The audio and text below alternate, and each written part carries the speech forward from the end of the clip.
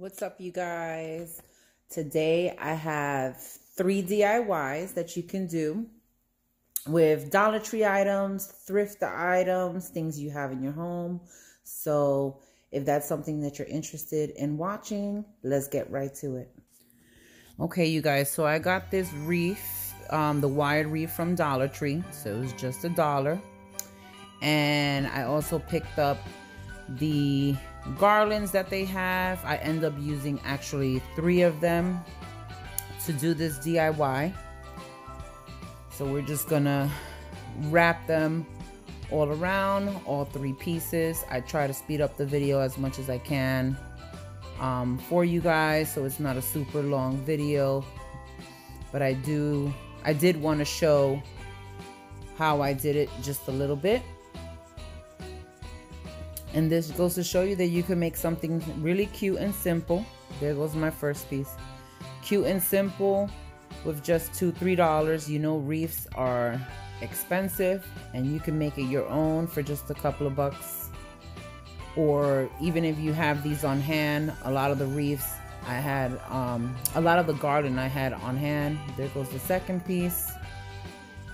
So I bought two and then I had the extra one already in my shed. So we're just gonna finish um, putting the garland all around so we can get to decorating.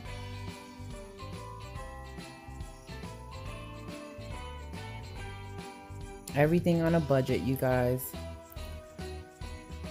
That is definitely me.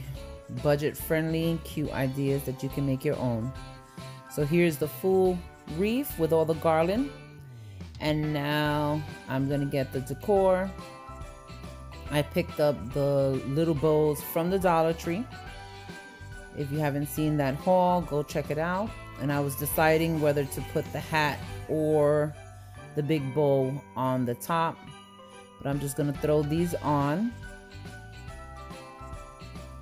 My buffalo check print um, bows. Look how cute so far, you guys.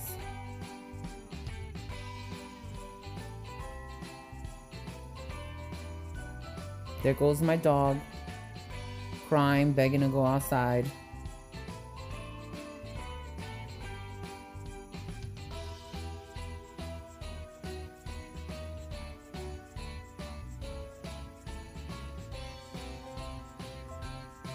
So here's the three little bows that I decided to go with. And I made the decision to, instead of put putting the big bow on top, which you can do as well, or you can find so many different things at the Dollar Tree or anywhere um, to put on top. But I'm going with the buffalo check hat that I also got from the Dollar Tree. So this DIY cost a few bucks, but it's nothing compared to buying one that you didn't make yourself. And this is the final look, you guys. I just took some bobby pins for your hair and pinned in the hat, but you can and this is how it looks on the door hung up. I thought it came out very cute, unique, and yeah. Here is the thrifted wreath that I got from one of my thrift um, stores. If you haven't checked that video out, go check it out. We're going to take this ugly bow. I also found this for a dollar at a moving sale. And yeah, we're going to come up with another wreath that I want to hang out, hang up on my gate outside in the entrance. So I took the bow off. It makes a big difference just without the bow. But the reef needs some fluffing and things like that. But in the meanwhile, all those little hanging um, snowflakes, the metal ones, I'm going to go ahead and just yank them off. I'm going to use a couple later, but for now we're going to get them out. As you see, we got them out. I also drilled holes on the two sides to be able to tie it. Here is the chalk uh, spray paint. I got that from Hobby Lobby. We're gonna spray the the whole metal part, the whole top um, white. But you can also do a distress look. You can add other things to it. I just wanted to do all white, as you see here. And on the sides, I drilled in some holes so that we can put zip ties in them to hang them on the reef. So I'm gonna put the zip ties on each side.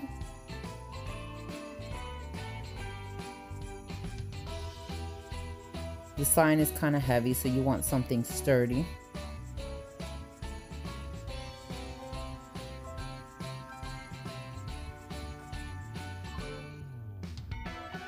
I know it looks a little crazy right now, but the finished look looks great. I'm taking the faux snow from the Dollar Tree and adding more to the reef. It already had some, but I wanted to spruce it up some more with the faux snow spray.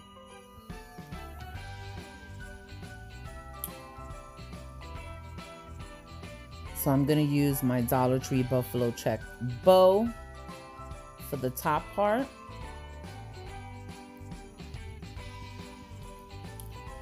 I decided to um, to cut the edges there, the tips, so it doesn't overlap on the sign and you can read let it snow. And look you guys how it came out. Now the edges I do cut off and cover. I take the snow the metal snowflakes and put them on the side. I hot glued it and that's the finished look on the door. It covers up the zip ties as well. And I'm hanging this on my gate. And this is my third DIY with some wine glasses. I put some faux snow in it the little brush trees from the Dollar Tree and some faux um, red flowers from the Dollar Tree. I did one and I'm gonna do the second one with you. So you're gonna hot glue the little um, brush tree onto a hard like cardboard. I cut out the cardboard the shape of the bottom of the cup the rim of the cup rather. We're gonna fill it up with the little snow that they have. And then I'm gonna hot glue that bottom to the, the cardboard to the glass